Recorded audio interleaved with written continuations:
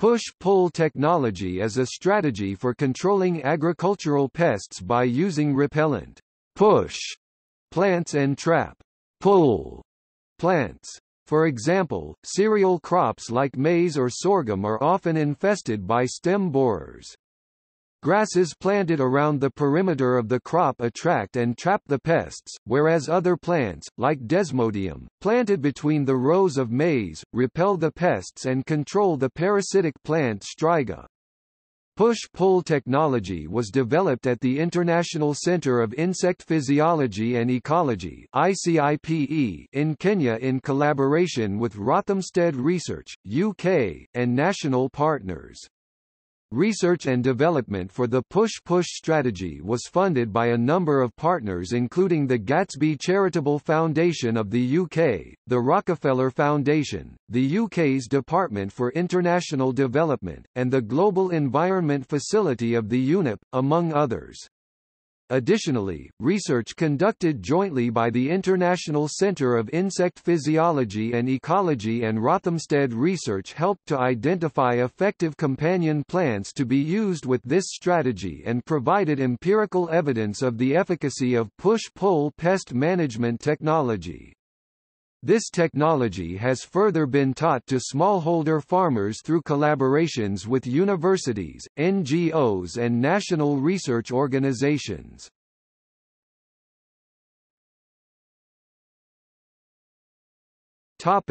The pull. The approach relies on a combination of companion crops to be planted around and among maize or sorghum. Both domestic and wild grasses can help to protect the crops by attracting and trapping the stemborers. The grasses are planted in the border around the maize and sorghum fields where invading adult moths become attracted to chemicals emitted by the grasses themselves. Instead of landing on the maize or sorghum plants, the insects head for what appears to be a tastier meal. These grasses provide the pull in the push-pull strategy, they also serve as a haven for the borer's natural enemies. Good trap crops include well-known grasses such as Napier grass and Sudan grass Sorghum vulgare sudanense. Napier grass has a particularly effective way of defending itself against the pests. Once attacked by a borer larva, it secretes a sticky substance which physically traps the pest and limits its damage.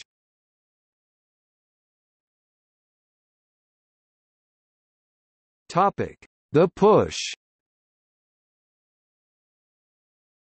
The push in the intercropping scheme is provided by the plants that emit chemicals ones which repel stemborer moths and drive them away from the main crop maize or sorghum. The best candidates discovered so far with the repellent properties are species of leguminous genus Desmodium. Desmodium is planted in between the rows of maize or sorghum. Being a low-growing plant, it does not interfere with the crop's growth and, furthermore, has the advantage of maintaining soil stability, improving soil fertility through enhanced soil organic matter content and nitrogen fixation. It also serves as a highly nutritious animal feed and effectively suppresses striga weeds.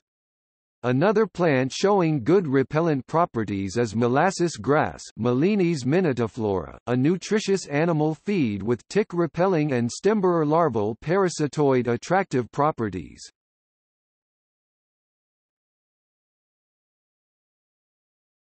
Topic: How push-pull works.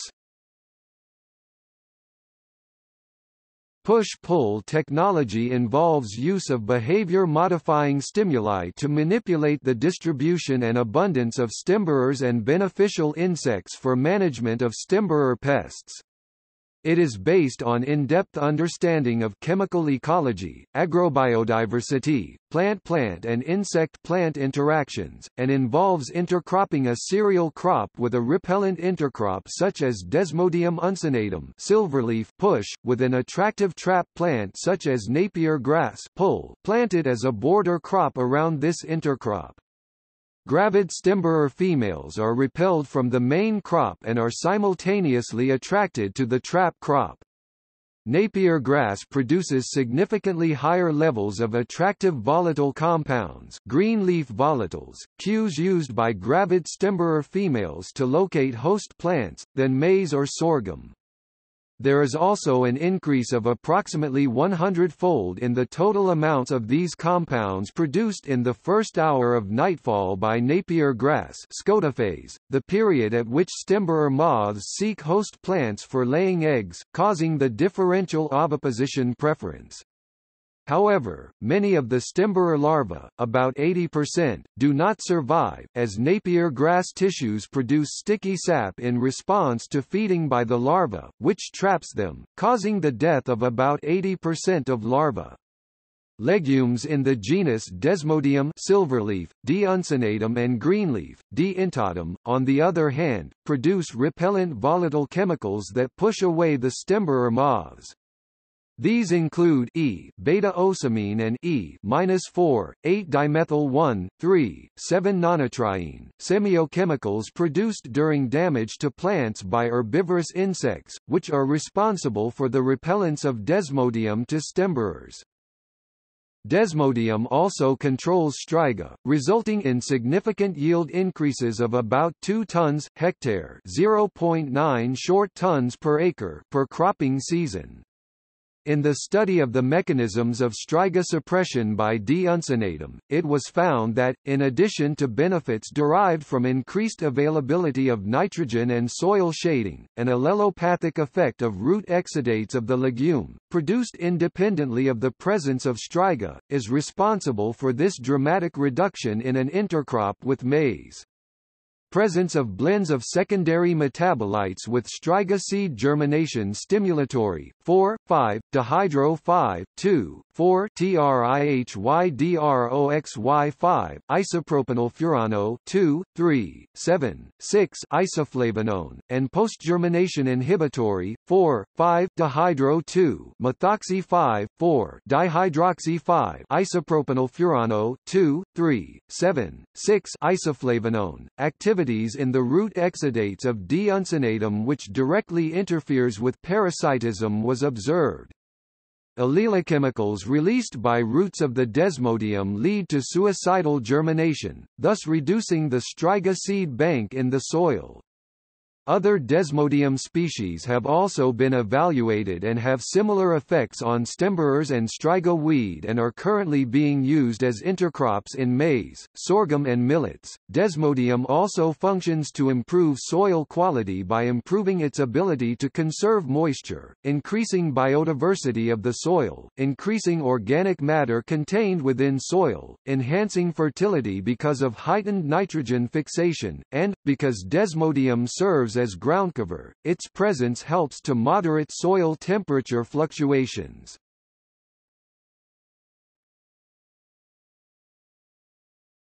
Topic: Economics of push-pull agriculture. Push-pull agriculture leads to beneficial economic outcomes on the level of individual smallholder and subsistence farmers through larger income streams coming from the sale of surplus grain, desmodium seeds, fodder, and milk. Economic Study has calculated the return on investment of push-pull methods for farmers to be over 2.2 as compared to 1.8 for pesticide use, and 0.8 for monocrop. Although startup costs of push-pull technology are highly variable due to the requirements of labor to plant desmodium and napier grass and purchase of these seeds, costs significantly decline in following growing years. Push-pull technology has also been seen to help boost local economies. Because these farmers have more income, they are able to spend money in their local economy which boosts the standards of living and prosperity of the community at large. The primary economic opponents to such methods are large multinational corporations such as Monsanto and others that produce seasonal inputs such as chemical pesticides, fertilizers and high-yield seeds that require such inputs. After controlling for extraneous maize yield determinants, it was found that there there was a 61.9% maize yield increase with a 15.3% increase in the cost of maize production and a 38.6% increase in the average net income brought in from maize. In households where push-pull technology has been adopted in Kenya, increased economic earnings have been associated with more years of education, improved access to rural institutions, and attendance to a larger number of field days when compared with households that have not adopted the technology. Additionally, if adoption of the technology continues at the current rate of 14.4%, a reduction 75,077 people considered poor could be expected in a situation where the local economies remain closed, and 76,504 fewer people could be expected to be considered poor if the economies were open.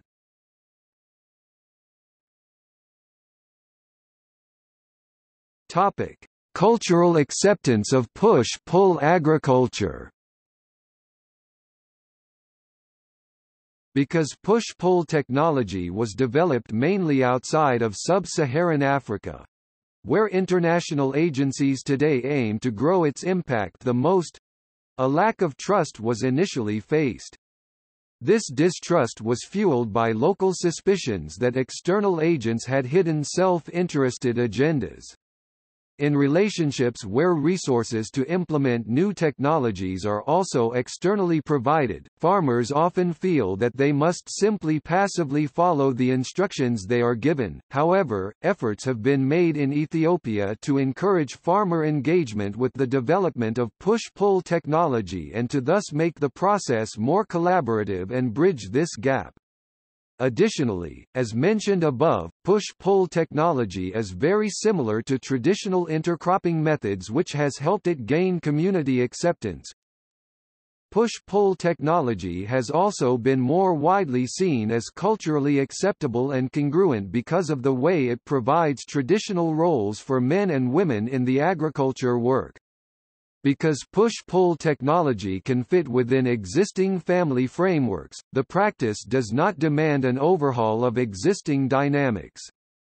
In order to further make the implementation of push-pull technology, farmers played a participatory and influential role in deciding how the technology would be carried out to best suit their needs and align with traditional practices.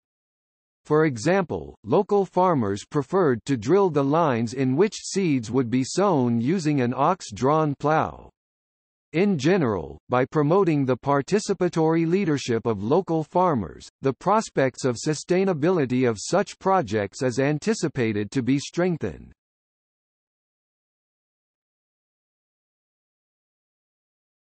Topic: Future prospects of push-pull agriculture This strategy is based around the use of locally available plants, not costly industrial inputs, thus making it both more economically feasible and more culturally appropriate as this method is in many ways similar to traditional African practices of intercropping. For this reason, this method is anticipated to be a popular solution to food insecurity in sub-Saharan Africa. While this strategy is less resource-intensive, it is more knowledge-intensive. For this reason, mass media campaigns have been launched, public meetings held, printed materials disseminated, and farmer-to-farmer -farmer and farmer field school programs established in order to overcome knowledge barriers to the implementation of push-pull technology. The most efficient, influential, and cost-effective methods of disseminating information and encouraging farmers to adopt push-pull methods have been identified to be field days lead to approximately 26.8% increase in adoption, farmer field schools 22.2% chance of swaying farmers' decisions, and farmer teachers 18.1% chance of convincing farmers to adopt the technology. Additionally, it has been found that over 80% of farmers who participate in field days adopt the technology on their land. Another measure that has been taken to boost adoption rates of push-pull technology is to distribute desmodium seeds and other inputs that are required to begin this practice. Distribution of seeds and other required inputs has been made possible through partnerships with seed companies and local farmer groups.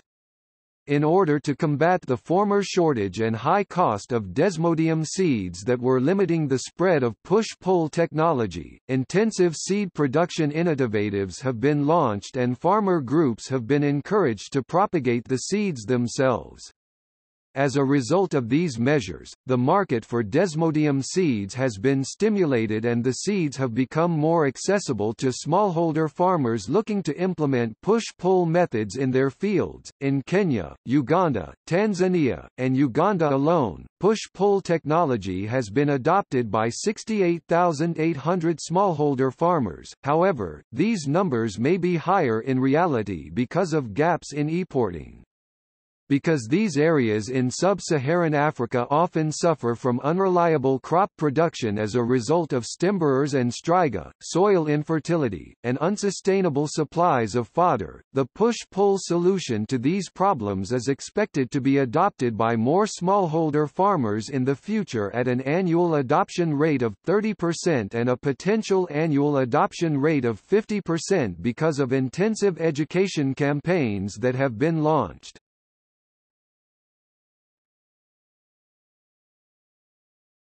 Topic. See also. Biological pest control. Cultural methods. Sustainable agriculture. List of sustainable agriculture topics. Ecotechnology. List of companion plants. List of beneficial weeds. List of pest-repelling plants